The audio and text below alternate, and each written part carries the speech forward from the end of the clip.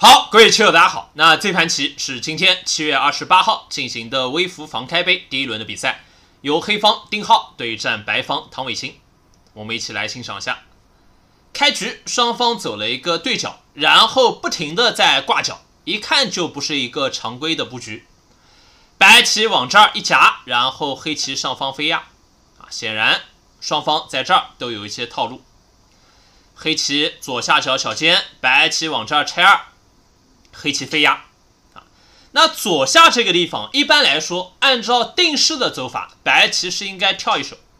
啊，但是如果说现在选择跳一手的话，黑棋往右下继续飞压，白棋下方这个棋形就被压扁了，啊，这个空围的全在三路，显然是不太满意的，所以说白棋先在右侧尖顶走了一个定式。黑棋往这儿立二拆三，然后白棋脱先，在上方继续拆二，对黑棋左上这三颗子进行施压。但是白棋虽然说左侧是两个拆二，这个棋形还是有一定缺陷啊。以后黑棋如果说不考虑二路点的手段的话啊，就往这儿靠压完之后，再一连扳，可以先手加后。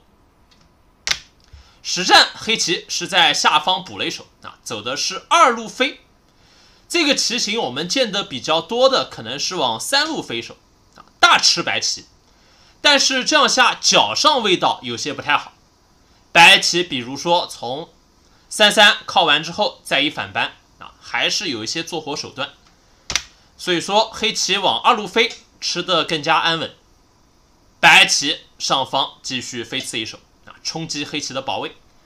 这个棋当然黑棋想出头也很简单啊，就往这儿压完之后再压，白棋扳住，黑棋反扳。但这样下只是黑棋在单纯逃跑，而且压四路啊，可能不太肯。所以说实战黑棋以攻为守，往左侧碰了一手，问一下白棋怎么应对。如果说白棋要是在局部用强往这儿一扳的话，黑棋刚好反扳腾罗。白棋往这儿一贴，黑棋搬完之后，白棋打吃补棋，黑棋粘上也是个先手啊，瞄着三路的一个断打，所以说白棋要单提一手，黑棋再往上一压啊，这个定型就跟刚才有很大差别了，黑棋多了中央这四颗子，等一会儿就可以跟上方呼应起来啊，形成一个后势，那中央还是有些潜力的。实战白棋单退，黑棋还是要往这儿一碰。因为白棋的这个棋形始终有问题。如果说白棋要是想二路一扳连回的话，啊，恐怕也不行。被黑棋往这儿一长，白棋上方还要继续联络，然后黑棋扳下来再一粘，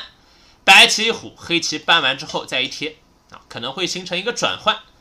不过这个转换的好坏也说不清楚啊，因为白棋左侧三颗子，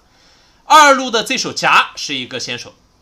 下方这手二路飞也是个先手，还是比较容易做活的啊。但是黑棋上方三颗子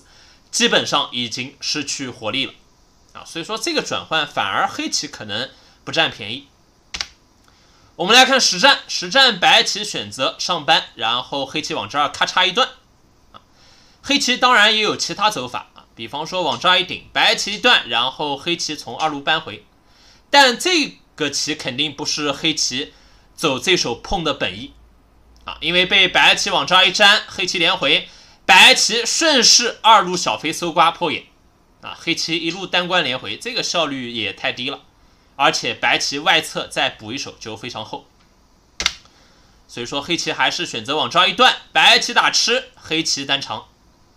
黑棋就像我们刚才说的，肯定不可能考虑二路连回，这样的话没有什么太大的意思。再往脚上一飞，白棋挡住，黑棋还要后手补活，白棋再往二路一夹，就算黑棋把这颗棋筋拉出来战斗，白棋往上方一贴啊，黑棋上面有各种断点，这个棋肯定不行，太痛苦了。如果说黑棋要是往这儿顶打一手，那白棋一提，黑棋一粘，白棋二路力阻度，那黑棋这四颗子还是非常笨重的。然后上方三颗子也需要安定。啊，这样下黑棋也不行，很容易被白棋缠绕攻击，而且白棋连角带边全部围住，左侧二路扳还可以连回。啊，黑棋也接近崩溃。我们来看实战，实战黑棋选择跑出，然后白棋往这儿一粘，黑棋一顶，白棋先手一打，再往这儿翻打破眼。啊，那黑棋也只能提掉，白棋选择继续一打。这个地方如果说白棋要是单长的话，会给黑棋出头造成一些威胁啊，因为现在这个出头的空间特别狭窄，但是这样下对自身来说也有一定坏处。黑棋一旦飞出啊，白棋左边三颗子逃跑，黑棋上方冲完之后再一粘啊，虽然说黑棋自身是一个大鱼形，但是白棋也多了不少断点啊，这样下可能白棋也不太满意。所以说干脆打吃。但是打吃也有个问题，就是黑棋以后这个拐打，白棋提的时候，黑棋往这儿一跳自身这个包围圈就会显得非常完整。好，我们来看实战。实战，黑棋先往这儿点刺啊，从这一手棋开始，丁浩也开始发力了。白棋冲，然后黑棋再往这儿拐打。白棋如果粘上，肯定外侧更厚一些啊。但是以后黑棋这三颗子一粘，还是一个先手，白棋上方还有断点啊。所以说白棋干脆一提，凌空一提，从视觉效果来看也非常的震撼。而且白棋现在变得铁厚，黑棋。往这一长，白棋跟着一贴，黑棋再一扳，白棋反扳，黑棋再一长，白棋跟着贴。如果说黑棋要是单长的话，肯定自身更厚一些啊，但是这样下显得有些松。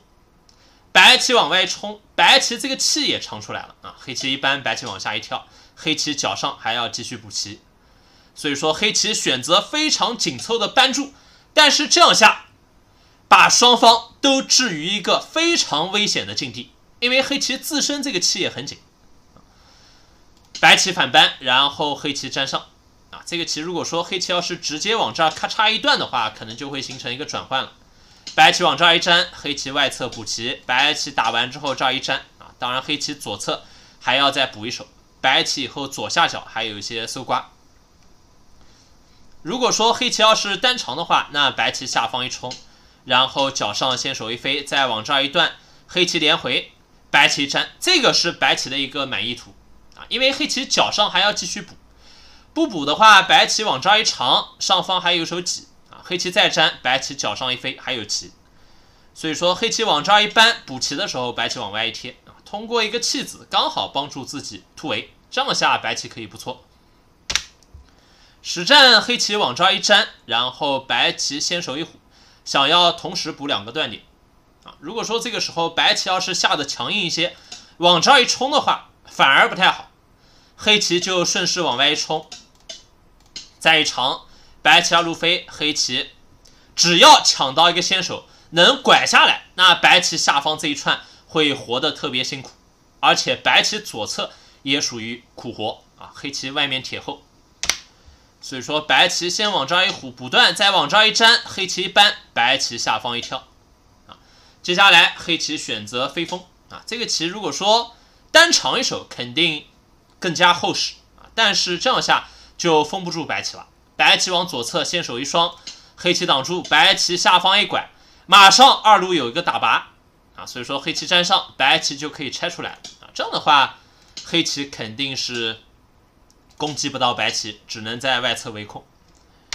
实战黑棋还是要一门心思杀龙啊，就往这儿一飞，然后白棋左侧二路飞啊，这个地方是想扩大眼位，而且是一个先手。当然这样下，白棋二路还是有一个冲断啊，这手飞还是防不住。要是想防住这个二路冲断的话，白棋还是应该往这儿小尖一手啊。不过这样下的话。眼位就要小很多，而且黑棋脚上围的更大啊，所以说白棋先往这儿一飞，黑棋挡住，白棋冲完之后再一拐啊，其实现在黑棋已经通过攻击得利了啊，就简简单单把这个二路子粘住就非常不错，白棋只能非常憋屈的从二路拖回。啊，黑棋肯定满意，往这儿一粘先手，白棋二路粘，黑棋扳完之后顺势把这个口子补牢。黑棋外侧全是潜力，足以弥补左上角的损失。啊！实战黑棋还是不依不饶，往这儿一碰啊，这手棋意图非常明显，就是想要先手阻度，连给白棋二路拖回的机会都不给啊。白棋如果说现在要是在二路打拔，那黑棋就转换往角上一扳，白棋二路立，然后黑棋直接脱先往右上角小飞手脚啊，黑棋右边整个模样可以说气势恢宏。实战白棋还是选择挺头啊，这手棋非常大，不仅关系到这个模样，而且关系到局部厚薄，连以后右侧的打入都会变得有可能性。那白棋往这儿一长，黑棋肯定二路粘破眼，白棋二路拖啊。其实这个时候白棋最容易看出来的活棋方法，就是先往左侧二路侯一个，因为这手侯马上二路就有一个扳过。啊，所以说黑棋挡住阻度，白棋再往二路拖，啊，虽然说活得比较辛苦，但是也没办法，只能往这儿一打，然后一路扳阻度，黑棋一扳，白棋往这儿打吃，黑棋一路跳破眼，白棋左边已经做出来一只眼的情况下，再往下方一夹打吃做眼，啊，只能两眼苦活。实战白棋是往二路先拖了一手，然后黑棋反扳。白棋是直接往左侧一挤，这一手棋一走，可以说白棋大龙就没有办法进活了。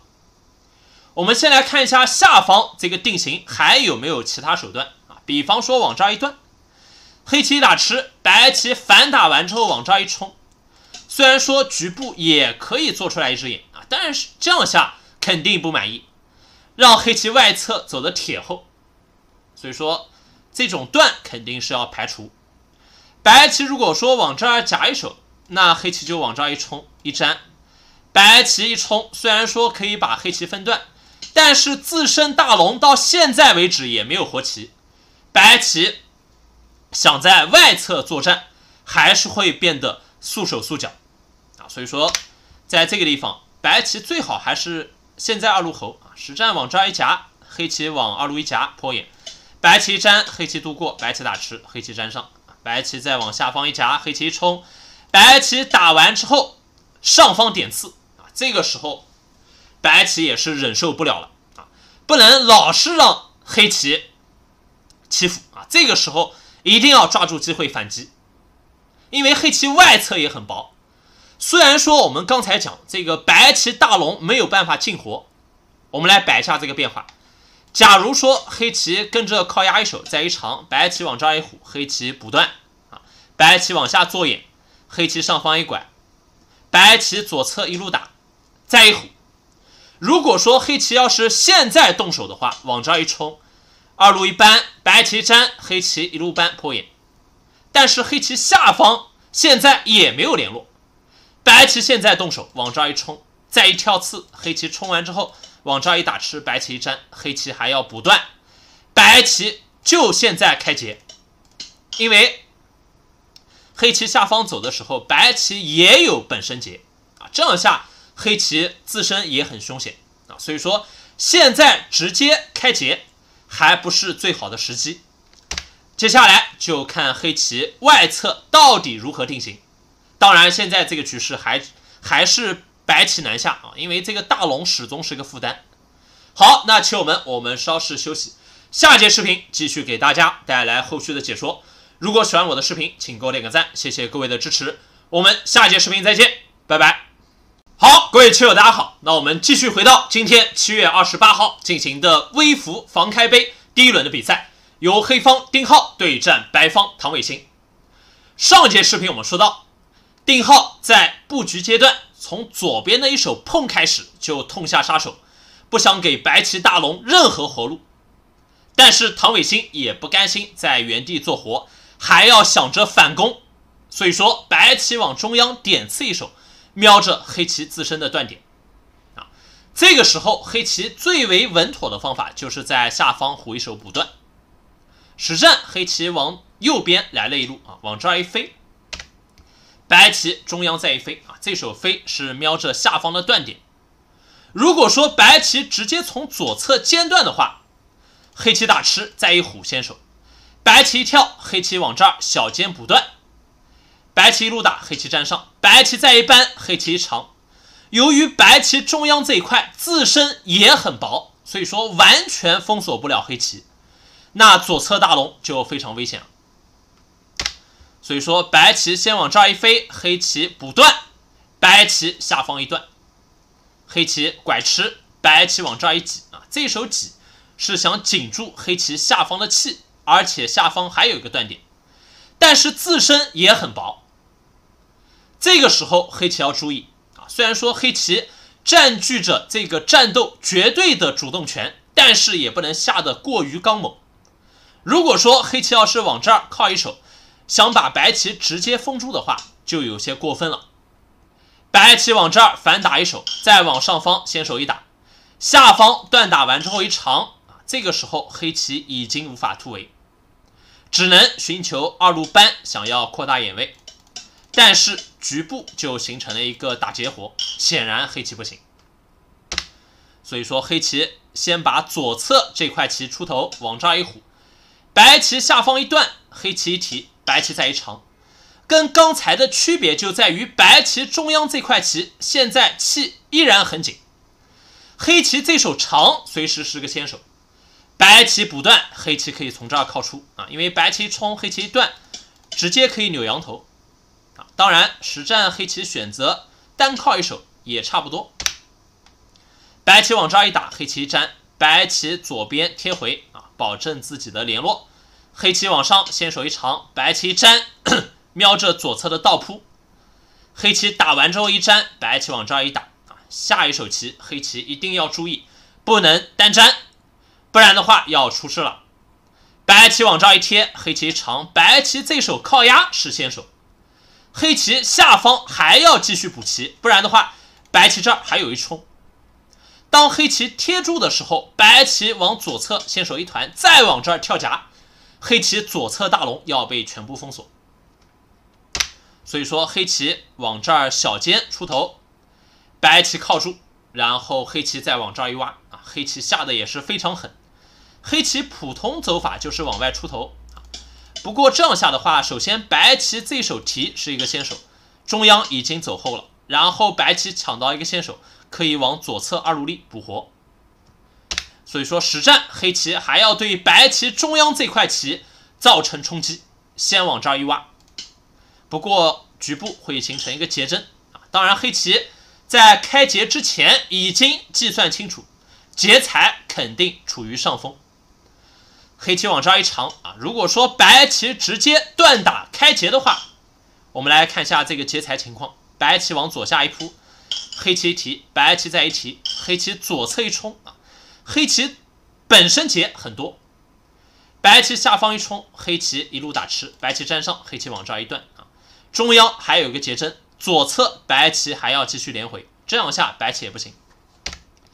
所以说实战白棋先选择突围，保证中央这块棋的安全，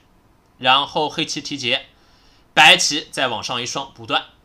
啊。如果说白棋还要跑出下方两颗子的话，就很勉强了，因为黑棋往这一拐，白棋提劫，黑棋下方打吃也是一个本身劫，再提过来，白棋下方一长，黑棋粘，白棋提劫，黑棋下方一打还要继续破眼。如果说白棋直接粘上中央的劫的话，那左侧大龙要全部阵亡，显然不行。所以说白棋先往这儿补断，黑棋下方闷住，吃住两颗子。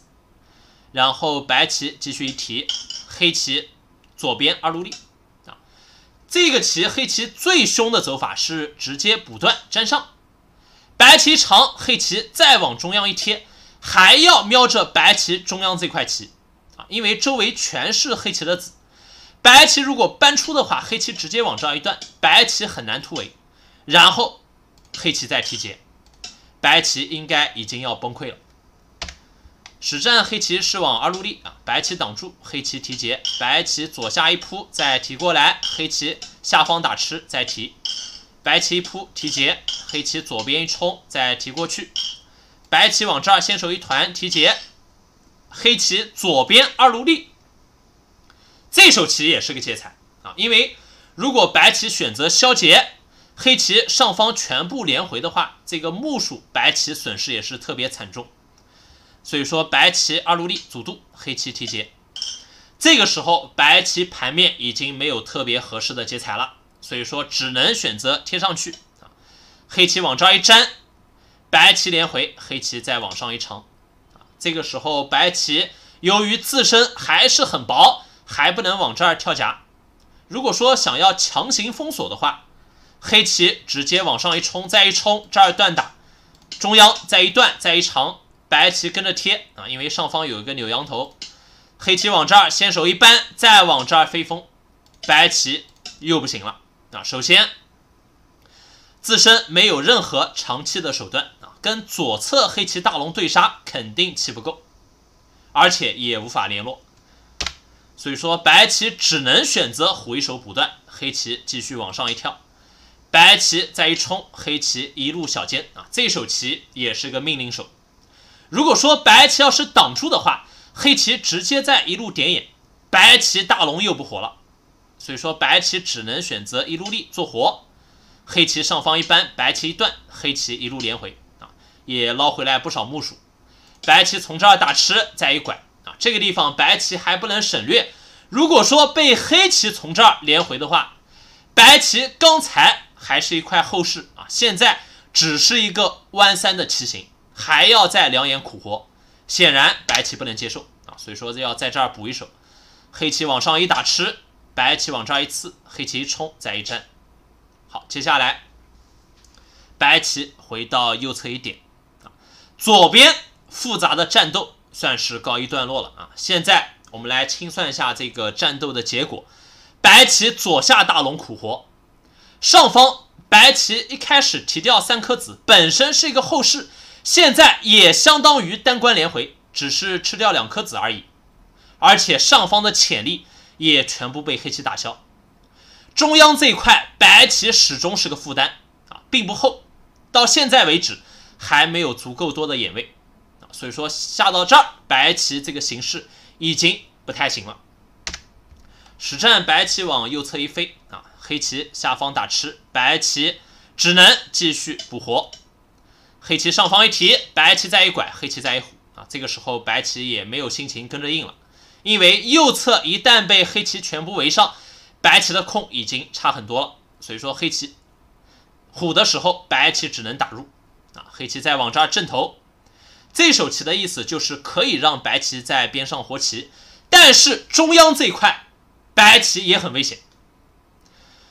如果说黑棋只是往这儿靠压的话，那就进行一个简单的收官啊。其实这样下更为简明，白棋实控也不够啊，因为白棋在中央还得后手连回。实战黑棋往这儿正头，然后白棋飞风，黑棋再往中央点刺一手，还要瞄着白棋棋形的保卫。其实黑棋走得稳妥一些，就从下方连回，保证下方这块棋的安全。白棋右侧小尖想要切断黑棋啊，角上这两颗子其实也可以弃给白棋，黑棋就往这儿小尖完之后，二路搬粘先手，白棋一连，黑棋再往上方封锁，这个棋白棋也没有什么翻盘的点。实战黑棋往这儿点刺，白棋穿向眼啊，不过这手棋也正中黑棋下怀，黑棋刚好往右侧一顶，不断。白棋自身联络还有问题，要往这儿补一手。黑棋顺势一虎啊，双方各吃掉一颗子，但是很明显，右侧这颗子价值更大啊，所以说白棋在这儿目数上又亏了。然后白棋往二路一搬，黑棋单粘已经活棋啊，这个看的也很清楚。如果说白棋粘上的话，黑棋往这儿一顶，先手再一提，两眼活。实战白棋往上方点三三啊，黑棋挡住。然后搬了之后连搬，如果说白棋选择断吃转换的话，其实也不便宜，因为上方这条边啊没有任何围控的价值，白棋最多以后也就是从二路搬，黑棋一长，然后从二路连回，没有几目棋，所以说白棋换了一种定式走法，先从二路一搬，然后一断啊，这也是一个老定式，再从这儿打吃，黑棋角上一长，白棋往这儿一长。黑棋直接补棋，然后白棋上方二路搬，再一爬，黑棋脚上一跳，白棋一搬，上方这个地方已经没有任何走棋的必要了，所以说黑棋直接在右下收官，二路立，然后一路先手搬粘，啊，这个也是一个双先官子。然后黑棋在二路立下，白棋上方一夹，这个是白棋的先手权利。黑棋断打，白棋上方小尖，黑棋往这儿一虎，白棋再往这儿补棋。啊，走到这儿，其实这个棋局已经没有什么变数了。黑棋往这儿一点啊，其实这手棋也是个先手，白棋还要补棋。实战白棋往下一顶啊，其实黑棋单提也活了。这个时候，丁浩还秀了一下手筋，往这儿一断。这一手棋的意图是，如果白棋往这儿一打吃，黑棋上方还有一些组合拳，比方说往这儿冲断，再一跨，白棋冲，黑棋断，白棋上方一打，黑棋还可以继续跑出。白棋打吃，黑棋粘上，白棋往这儿破眼，黑棋一提啊，接下来白棋下方一粘，想要破眼，黑棋往上一冲啊，这个时候我们注意到白棋中央这块其实也没有活。白棋往这儿连回，黑棋一断还是先手啊。白棋右下这五颗子还要提通，然后黑棋往上一点啊，形成一个对杀。但是这样下，不管谁能杀得过谁，对于黑棋来说都没有完全都没有必要啊，因为黑棋是大优势的局面，这样下反而增加了一些不确定的因素。所以说，实战白棋还是选择往这儿撑劫啊。不过黑棋也看清楚了。只要形成劫针，黑棋的劫财肯定是要多于白棋的。黑棋往这儿一提，然后白棋上方打吃，黑棋挡住，白棋再一提，黑棋中央一冲，本身劫再一提，白棋再提过去啊，黑棋再一提，这本身也是一个损劫。然后白棋再一提，黑棋右下一冲，走到这儿，白棋就认输了。因为如果继续走下去的话啊，就算黑棋放弃这个劫针。形成一个转换，从这儿滚打包收，然后吃住右下角，白棋也不行啊，因为白棋落了一个后手，右边再被黑棋补一刀，白棋也不活了啊，所以说走到这儿，唐伟新就认输了。这盘棋可以说相当的精彩啊，是一盘非常激烈的屠龙局。丁浩从左侧这手碰开始就痛下杀手，之后虽然说白棋好不容易大龙两眼苦活。但是中央这一块始终也是个负担，而且左上方还遭受到黑棋一通搜刮，白棋目数损失惨重啊！再到后来，白棋想要在右侧掏空已经是相当勉强啊！黑棋一直到中局还是下的特别凶狠！包括这手二路断啊，原本只要简单补活，这局棋也就可以结束了啊！黑棋往这一断。最终形成一个劫针，但是白棋因为没有足够多的劫财，最终也是无力翻盘。好，那这局棋就给棋友们欣赏到这里，